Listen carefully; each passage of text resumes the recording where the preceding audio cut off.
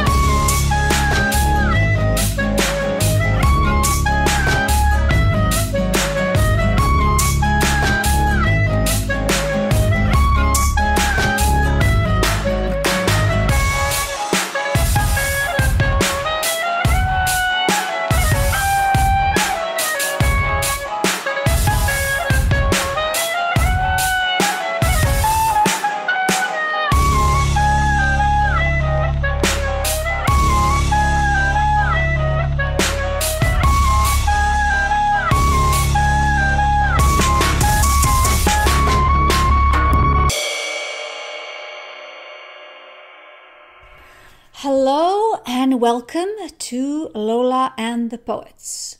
My name is Milana and I shall be your host.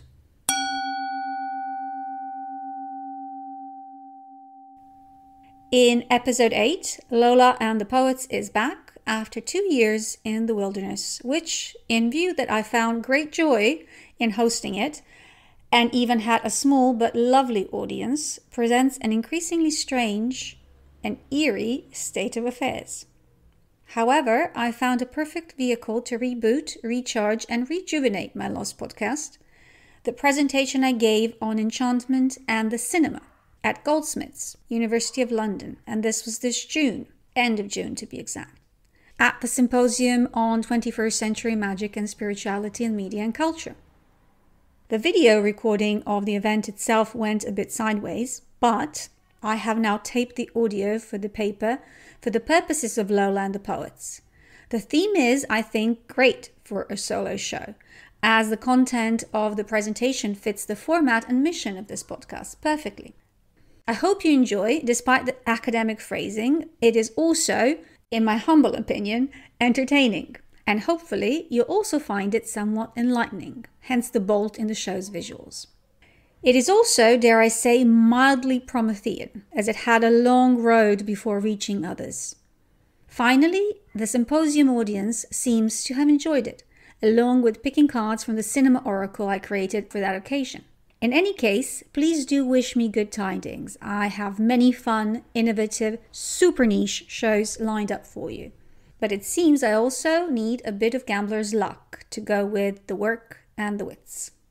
Bless you all, my feral friends, and let's roll. Hundreds of thousands of people are going to listen to him over the radio. And unless he says something that's, well, that's sensational, it's just no good. This paper is an amalgamation of my earlier work on film as an alchemical medium, with a few new insights on immersion in narratives and cinema and the body, while honoring my lifelong interest in phenomena termed otherworldly, mystical, transcendent, supernatural. For me, these existential curiosities had always presented unexplainable yet authentic experiences that most of us have within our lifetimes ones we can observe in their effect, but not in their causality, and which have, in their scintillating unknowability, provoked multitudes of belief based and concept based explanations for millennia. So, third time's a charm. Let's start with three dilemmas, with hope of the third unlocking the entire pack. First, the one about the nature of things. Did human desire for magic escape the scorn of enlightened rational thought through the vehicle of the newly minted medium of cinema? A presence born in extreme turn of the century mechanical circumstances, emerging ghost like, its images embalmed in celluloid, its wings coated in silver.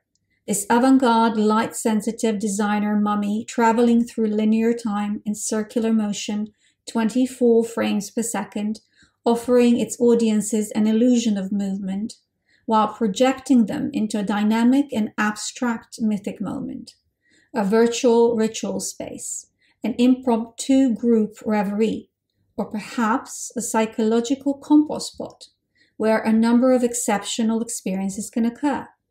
If the alchemical temperature of the narrative has accidentally or purposefully been set to transmutation.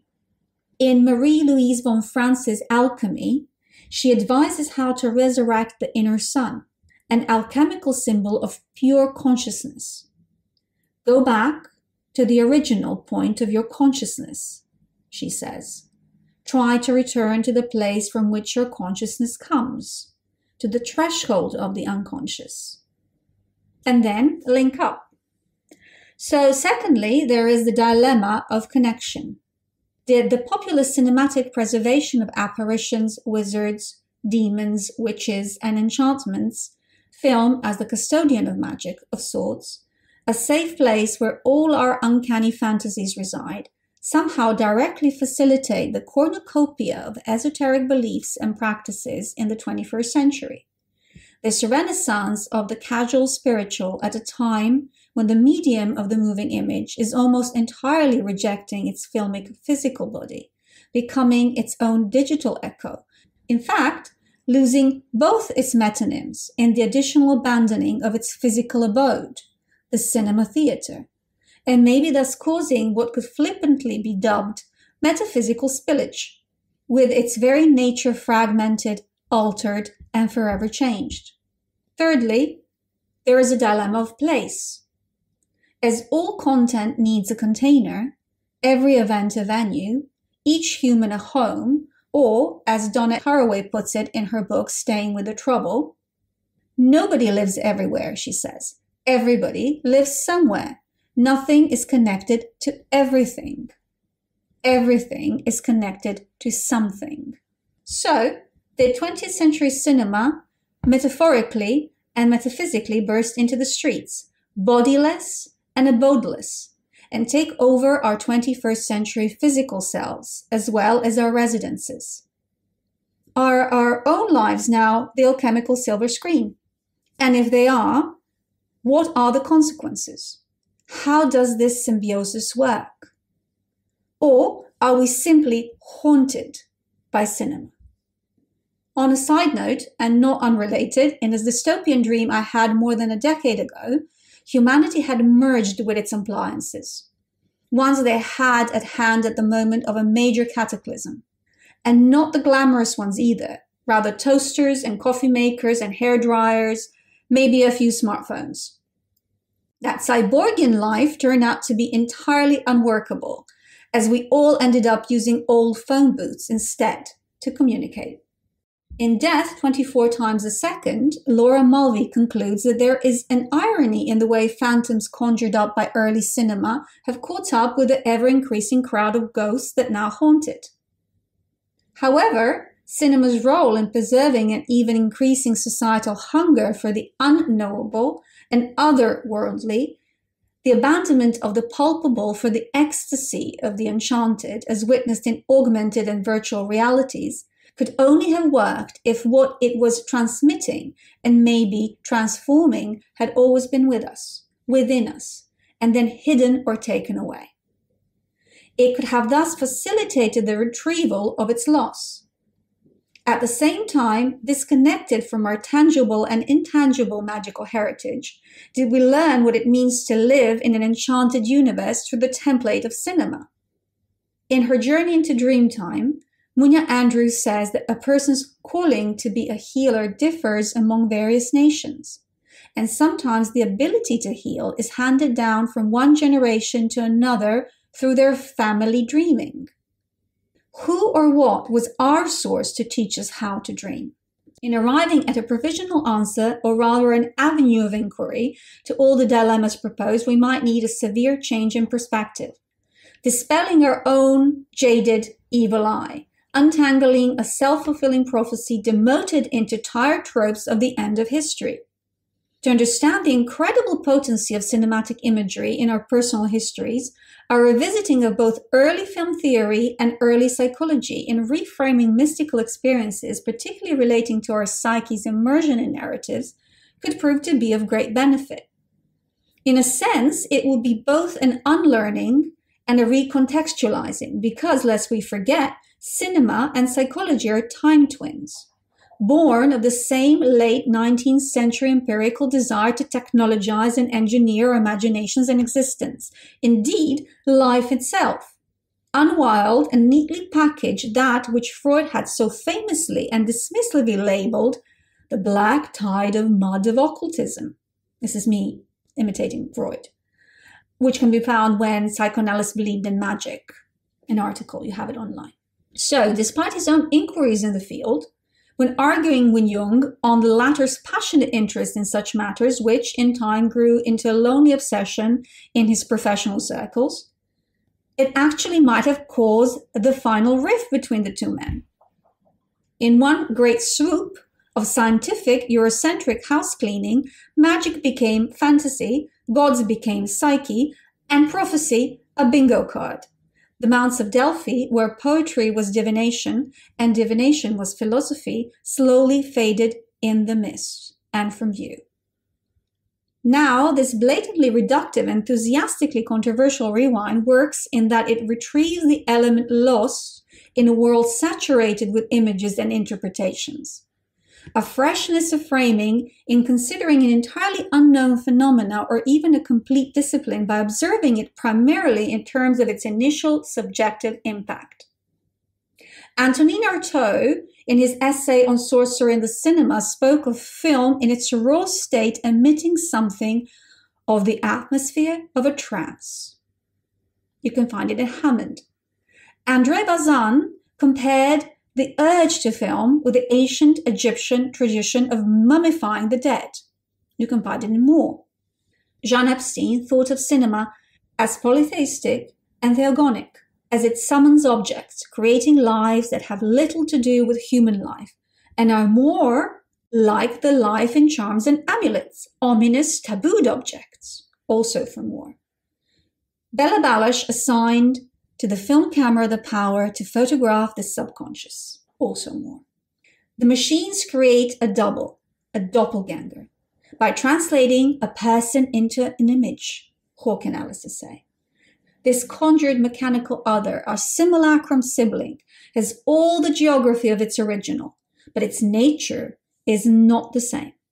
It will be wise to also point out that this process allows for an ample playing ground for artists and practitioners of the esoteric arts to apply the medium in their own belief based practice. But what of the audience's participation in this narrative sorcery? Its ongoing fascination with haunted universes, the occult patterning of a film, both in execution and in content talking about liminal spaces of mesmerizing entertainment expanding into uncharted areas of entertaining enchantment, we could conclude that a kind of narrative mesmerism could ring true of all art forms.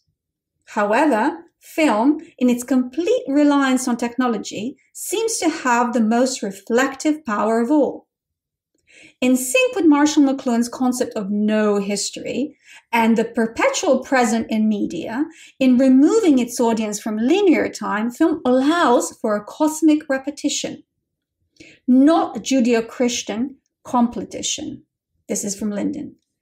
Francisca Cho, a religious studies scholar, has pointed out that the dichotomy between historical and mythic time does not exist in Chinese thought. Thus, the key purpose for all myths is to provide patterns for living a life. Also, Lyden. As quoted previously, Marie Louise von Franz spoke of threshold phenomena, allowing for, she says, eruptions from the unconscious into the consciousness, which have both creative and destructive potential. This is via Hauke and Alister. In alchemy, Bringing the conflict of opposites into consciousness leads to the recognition of an alien other in oneself, the Mercurius, which was conceptualized by alchemists as the source of all opposites. This is Papadopoulos. Balázs believed that the peculiarity of film as art is that, unlike all other art forms to date, the permanent and inner distance from the work of art both fade out of consciousness of the spectator in order for one to willingly take part in cinema's mesmerism. Moore. Finally, Jung himself concluded that what he termed primitive pathology, primitive with, of course, quotation marks, expresses this exalted condition very aptly as spirit interference. In fact, in Jung's psychology and the occult, I came upon this fascinating and perfectly elegant analogy between the said indigenous people's concept of soul pathology and Jung's concept of the unconscious, in the clear distinction they make between two causes of mental illness and hence also somatic maladies. One being the loss of soul, and second, the possession by spirit. Jung termed the former soul complexes, unconscious complexes that normally belong to the ego, and the latter spirit complexes, ones that normally should not be associated with it. If any ego associated complex becomes repressed, the individual experiences a sense of loss, and when it is made conscious again, an increased sense of power. However, if a complex of what Jung termed collective unconscious becomes associated with ego, thus emerging into consciousness, it fascinates the individual, but also carries with it a disturbance, an uncanny presence, alienation from everyday life. Removal of this imposing content from consciousness would hence bring about a sense of relief. So, where are we now? Perhaps at a place or phase I provisionally coined archetypal enchantment, a state of partial inflation, a steady, low key infection with collective narratives, an emotionally altered state, usually only temporary, while an interest lasts. However, in cases of continuous immersion in ongoing virtual narratives, maybe even a phase that could be long lasting. My further purpose in following this gold thread of reasoning through a lacework of dream weaving silver is to understand how the potentially transformative aspects of this condition of being inundated, overflowing with content one cannot contain, can be geared towards growth and healing as well as co creation with others a realignment with the human, non human, and other than human rather than allowing the genuine pleasure and enchantment itself trap the psychic energy of an individual by holding one captive in a perpetual ritual and infantile state of imaginary action. 21st century humanity, with its blossoming need for spiritual revival, arrived at a tipping point one that could potentially permanently blur the lines between imagination and delusion. The proverbial crossroads, a good time to dispel fantasies and bring back the magic, an act of sculpting a fantastical narrative in poetic time, not unlike cinema, yet aligned with what might be present in our bodies and this world. An integration of the two hemispheres at an equal footing, not just within our own psyches, rather of us as elements in the vast tapestry that is the anima mundi.